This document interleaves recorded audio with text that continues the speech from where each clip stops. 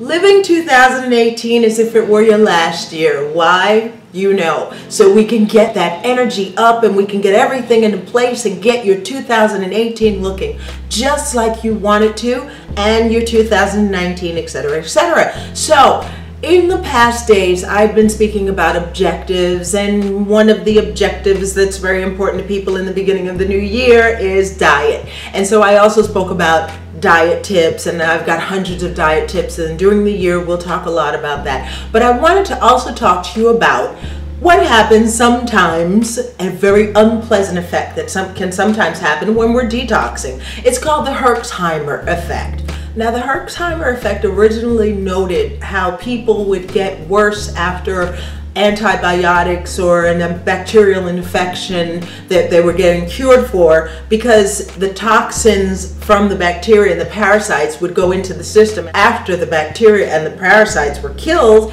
and let's say their remains would then intoxicate the system and cause inflammation. Now the Herxheimer effect when you're on a diet works like this.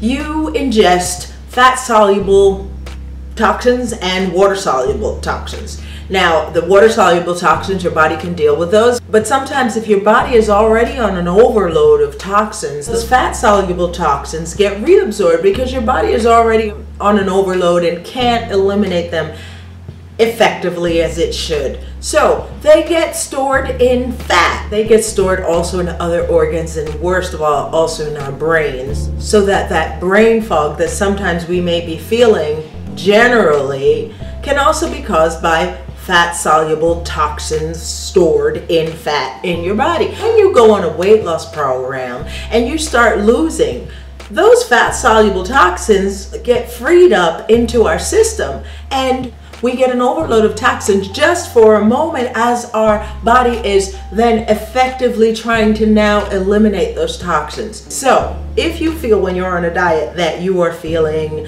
uh, nauseous or you're getting headaches or dizziness or you even getting skin rashes or maybe some muscle aches and pains, uh, sweating, maybe even a sore throat or chills, it kind of can feel like the flu. You can get confused also. You can have that brain fog get a little bit stronger because the toxins are being liberated into your system. But don't worry, it's better to lose the weight lose the fat soluble toxins stored in the weight because those fat soluble toxins stored in your fat also cause degeneration of your cells. They're, they're, they're working against you while they're in your body. So it's always better to maintain that healthy, ideal weight. Detox, detox, detox. In my comprehensive program for people who are working to get out of fibromyalgia, a lot of what they do most of the whole regime of what they do is detoxing. And in the beginning, a lot of people can experience this Herxheimer effect, but don't worry, it passes. It can usually pop up in the first few days and then last for about 10 days and then it goes away. Usually on the third week, it's all past.